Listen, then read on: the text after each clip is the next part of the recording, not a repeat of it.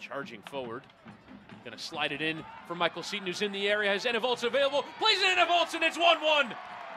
What an equalizer from Orange County. Michael Seaton finding Thomas Enevoldsen for his eighth of the campaign, and it's 1 1 at Champion Soccer Stadium.